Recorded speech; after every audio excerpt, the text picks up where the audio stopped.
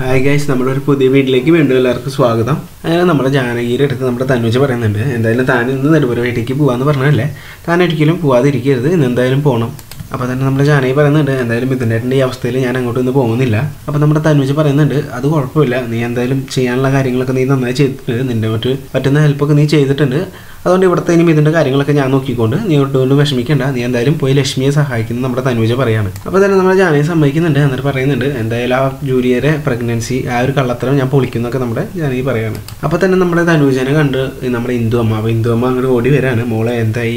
കാര്യങ്ങൾ മിഥുനെ നീ കണ്ടോ? മിഥുന്റെ അടുത്ത് നീ പറഞ്ഞു? അങ്ങനെയുള്ള ഒരു വിവരങ്ങളൊക്കെ നമ്മുടെ ഹിന്ദു അമ്മ തിരക്കാണ് തനുജയുടെ അടുത്ത്. അപ്പോൾ തന്നെ നമ്മുടെ തനുജ പറയുന്നുണ്ട് ഹിന്ദു അമ്മ ഒരു കാര്യം കൊണ്ട് വിഷമിക്കേണ്ട. നമ്മൾ പ്രതീക്ഷിക്കാത്ത സ്ഥലത്തു നിന്നൊക്കെ നമുക്ക് സഹായങ്ങൾ ലഭിക്കുന്നുണ്ട്. അതുകൊണ്ട് തന്നെ മിഥുനെ ജാമ്യത്തിൽ ഇറക്കാനുള്ള കാര്യങ്ങളൊക്കെ ഞാൻ പെട്ടെന്ന് തന്നെ ചെയ്യുന്നുണ്ട് മുൻകൂർ ജാമ്യത്തിലുള്ള കാര്യങ്ങളൊക്കെ ഞാൻ റെഡിയാക്കിക്കൊണ്ട് ഇന്ദുമ്പ് കരയൊന്നും വേണ്ട എന്നൊക്കെ നമ്മുടെ തനുജ ഒരുപാട് പറഞ്ഞ് സമാധാനിപ്പിക്കുന്നുണ്ട്. ഇത് കേട്ടിട്ട് ഇന്ദുമ്പ് പറയുന്നുണ്ട് അവന്റെ ആ ഒരു ജോലിയാണ് എല്ലാത്തിനും കാരണം. അവൻ എന്തായാലും ഇങ്ങോട്ട് വരട്ടെ. ഇതിന് ശേഷം ജാമ്യം കിട്ടി കഴിഞ്ഞാൽ ഈ ഒരു കേസ് ഒതുങ്ങി കഴിഞ്ഞ് കഴിഞ്ഞാൽ ഞാൻ അവൻ ഇനി ആ പത്ര ഓഫീസിലേക്ക് വിടില്ല എന്നൊക്കെ പറയുന്നുണ്ട്.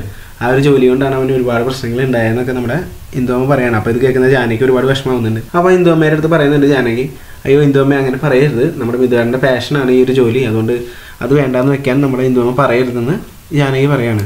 കൂടെ നമ്മുടെ തനൂജിയെ സപ്പോർട്ട് ചെയ്യുന്നുണ്ട്. തനൂജിയും പറയുന്നുണ്ട് മിഥുന് പാഷൻ അതാണെന്നുണ്ടെങ്കിൽ ഇന്ദോമ അതിനെതിര് പറയരുത്. മിഥുൻ എന്താണെന്ന് വെച്ചാൽ ചെയ്തോട്ടെ. അപ്പോൾ നമ്മുടെ ഇന്ദോമ പറയുന്നുണ്ട് നിങ്ങൾ രണ്ടുപേരും കൂടിയാണല്ലോ അവന് വളം വെച്ച് കൊടുത്തത്. പിന്നെ എന്താണെന്ന് വെച്ചാൽ നിങ്ങൾ തന്നെ ആയിക്കോ എന്ന് പറഞ്ഞ് വിഷമത്തോടു കൂടി നമ്മുടെ ഇന്ദോമ അകത്തേക്ക് കയറി പോവാണ്. അങ്ങനെ നമ്മുടെ തനൂജ് ഇതൊക്കെ പറഞ്ഞുകൊണ്ട് അവിടെ നിന്ന് പോവാണ്. അപ്പോൾ നമ്മുടെ ജാനകിയും നെടുപുര വീട്ടിലേക്ക് പോകാനുള്ള ഒരു പ്ലാനിലാണ്. അങ്ങനെ പിന്നെ കാണിക്കുന്നത് നമ്മുടെ ചോരച്ചാലും ഇതിനും കൂടി വക്കീലിനെ കാണാൻ വന്നിട്ടുള്ളതാണ്. അപ്പോൾ തന്നെ നമ്മുടെ വക്കീൽ പറയുന്നുണ്ട് ഇനി ഒന്നുകൂടി പേടിക്കേണ്ട ഒരു ദിവസം കൂടി വെയിറ്റ് ചെയ്താൽ മതി.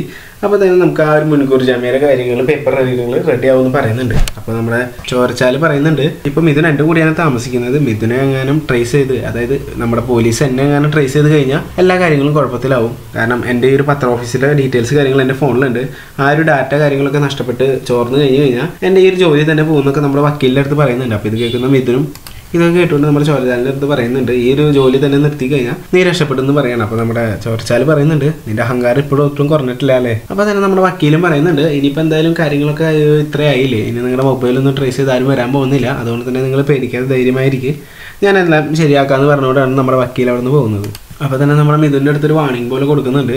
എന്തായാലും ഇതിനൊന്നും കൂടി സൂക്ഷിക്കുക. ആരുടെയായിട്ടും ഒന്നും പെടരുത്. ഈ ഒരു ദിവസം കൂടി നമുക്ക് സർവൈവ് ചെയ്യണമെന്ന് നമ്മുടെ വക്കീൽ പറഞ്ഞുകൊണ്ടാണ് വണ്ടിയിൽ കയറി പോകുന്നത്. പിന്നെ നമ്മുടെ ജാനകി നമ്മുടെ നെടുവര വീട്ടിലേക്ക് എത്താണ്. അപ്പോൾ ഞാൻ വന്നു എന്ന് പറഞ്ഞുകൊണ്ട് കയറുമ്പോൾ നമ്മുടെ പപ്പി ആന്റിയും എല്ലാവരും ഇരിക്കുന്നുണ്ട് അപ്പോൾ അവിടെ. അപ്പോൾ നമ്മുടെ ജൂലി ഉണ്ട് അപ്പോൾ ജൂലിയെ ചോദിക്കുന്നുണ്ട് ആ നീ ഇന്നും വന്നോ? അപ്പോൾ നമ്മുടെ ജാനകി പറയുന്നുണ്ട് ലക്ഷ്മി പറഞ്ഞു. ലക്ഷ്മി പറഞ്ഞുകൊണ്ടാണ് ഞാൻ ഇന്ന് വന്നത്. അപ്പോൾ ലക്ഷ്മി എവിടെയാണ്? അപ്പോൾ നമ്മുടെ പപ്പി ആന്റി പറയുന്നുണ്ട് ലക്ഷ്മി മോളിലുണ്ട് മോളെ. അപ്പോൾ തന്നെ നമ്മുടെ ശാരദാമ ചോദിക്കുന്നുണ്ട് ജൂലിയുടെ അടുത്ത് മോളെ നിനക്ക് ഇന്നും വിളർച്ചയാണല്ലോ കൂടുതലായിട്ട്. അപ്പോൾ തന്നെ. അപ്പൊ തന്നെ നമ്മുടെ ജൂലിയ പറയുന്നുണ്ട് അത് കുഴപ്പമൊന്നുമില്ല. ഞാൻ ഇന്നലെ ഒരു ഡ്രസ്സൊക്കെ അലക്കിടാൻ ആവശ്യപ്പെട്ടിരുന്നു. അതൊന്നും ആരും എനിക്ക് ചെയ്തു തരാനുണ്ടായിരുന്നില്ല. ഞാൻ ഒരുപാട് മെന്റലി ഡൗൺ ആണെന്നൊക്കെ നമ്മുടെ ജൂലിയെ പറയാണ്. അപ്പൊ തന്നെ നമ്മുടെ പപ്പി പറയുന്നുണ്ട് ലക്ഷ്മി ഇന്നലെ അതൊക്കെ നിനക്ക് ആക്കിയിട്ടെന്നാണ് പിന്നെ നീ എന്തിനാണ് വീണ്ടും ഇങ്ങനെയൊക്കെ കുറ്റം പറയുന്നത്? നമ്മുടെ ഉപ്പി ആന്റി ചോദിക്കുകയാണ്. അപ്പൊ ഇതൊക്കെ കേട്ടോണ്ട് നമ്മുടെ ജാനകി അവിടെ നിൽക്കുന്നുണ്ട്. അപ്പോൾ തന്നെ നമ്മുടെ ജാനി പറയുന്നുണ്ട് എന്തായാലും അവൾ സ്ട്രെസ് കൊണ്ട് പറയുന്നതല്ലേ ഒരു ഗർഭകാലത്തെ ഒരു സ്ട്രെസ് നമ്മൾ മാനിക്കണ്ടേ? അതൊന്നും കാര്യമാക്കണ്ട അതൊക്കെ അവൾ ആ ഒരു വിഷമത്തിന്റെ പുറത്ത് പറയുന്നതെന്ന് നമ്മുടെ ജാനി പറയുന്നുണ്ട് എല്ലാവരുടെ അടുത്തും. അപ്പോൾ തന്നെ നമ്മുടെ ജാനി പറയുന്നുണ്ട് എന്റെ കയ്യിൽ ഒരു ഉണ്ട് ഞാൻ തന്നെ ഉണ്ടാക്കിയതാണ് ഇത് ഗർഭകാലത്ത് കൊടുക്കുന്നതാണ് എന്തായാലും ഇത് ജൂലിയെ കഴിക്ക്. ആ ഒരു വിളർച്ചയും അതുപോലെ ആ ഹീമോഗ്ലോബിന്റെ കുറവൊക്കെ മാറും എന്ന് പറഞ്ഞുകൊണ്ട് നമ്മുടെ ജൂലിയരെ വായിലേക്ക് കൊടുക്കുകയാണ് ഒരു സ്പൂൺ അങ്ങനെ നമ്മുടെ ജാനകി നേരെ ചെല്ലുന്നത് നമ്മുടെ ലക്ഷ്മിയുടെ റൂമിക്കാണ്. അപ്പോൾ ലക്ഷ്മി ചോദിക്കുന്നുണ്ട് ആ ജാനകി നീ വന്നോ? അപ്പോൾ ജാനകി പറയുന്നുണ്ട് ഞാനൊരു പണി പറ്റിച്ചിട്ടുണ്ട്. അപ്പോൾ തന്നെ നമ്മുടെ ജാനകി പറയുന്നുണ്ട് ഞാൻ എന്തായാലും ഒരു ലേഹ്യം കൊടുത്തിട്ടുണ്ട് നമ്മുടെ ജൂലിക്ക്. അപ്പോൾ അവിടെ എല്ലാവരും ഉണ്ടായിരുന്നു അപ്പോൾ അത് ഗർഭിണികൾക്ക് കൊടുക്കുന്ന ലേഹ്യാന്ന് പറഞ്ഞിട്ടാണ് ഞാൻ അത് കൊടുത്തിട്ടുള്ളത്. കുറച്ച് നേരം കഴിഞ്ഞ് കഴിഞ്ഞാൽ നമ്മുടെ ജൂലി ഒരു മയക്കത്തിലാവും. അപ്പോൾ ആ ഒരു മയക്കം വരുന്ന സമയത്ത് തന്നെ നമുക്ക് ഡോക്ടറെ വിളിച്ച് വരുത്തണം. അപ്പോൾ നമ്മുടെ ലക്ഷ്മി ചോദിക്കുന്നുണ്ട് ആ ഒരു ലേഹ്യം കഴിച്ചു കഴിഞ്ഞാൽ അവൾക്ക് എന്തെങ്കിലും പ്രശ്നം പറ്റുമോ? അപ്പോൾ നമ്മുടെ ജാനകി പറയുന്നുണ്ട് ഇല്ല അത് ഡോക്ടർമാർക്ക് റെക്കമെൻഡ് ചെയ്തിട്ടുള്ള ഒരു ലേഹ്യം തന്നെയാണ്. ഗർഭിണികൾക്കും കഴിക്കാം അത് അല്ലാത്തവർക്കും കഴിക്കാം. അതുകൊണ്ട് ഒരു പ്രശ്നവും ഇല്ല ആ ലേഹ്യം കൊണ്ട്. എന്തായാലും അവൾ മയങ്ങുമ്പോൾ നമുക്ക് അവളെ ആ ഒരു സൈഡിലേക്ക് മാറ്റി കിടത്തിയിട്ട് ഡോക്ടർ എന്തായാലും വിളിച്ചു വരുത്തണം നമ്മുടെ ജാനകി പറയാണ് ലക്ഷ്മിയുടെ അടുത്ത്. അപ്പം തന്നെ നമ്മുടെ ലക്ഷ്മി ചോദിക്കുന്നുണ്ട് എന്താണ് ജാനകി? താനും സൂര്യൻ തമ്മിൽ എന്തെങ്കിലും ബന്ധമുണ്ടോ? അത് കേൾക്കുന്ന ജാനകി ആകെ ടെൻഷൻ ആവുന്നുണ്ട്. അപ്പോൾ കാര്യം ഇതല്ലല്ലോ.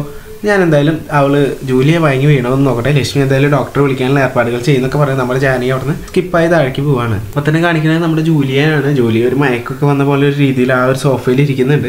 തലയൊക്കെ അങ്ങനെ ഒഴിഞ്ഞുകൊണ്ട് ഇരിക്കുന്നുണ്ട് എന്നിട്ട് നമ്മുടെ ജാനയും വന്ന് ചോദിക്കുകയാണ് ആ പപ്പി ആന്റി ഇന്ന് ഉച്ചയ്ക്ക് ഊണിന് ഞാൻ എന്തെങ്കിലും സഹായിക്കണോ?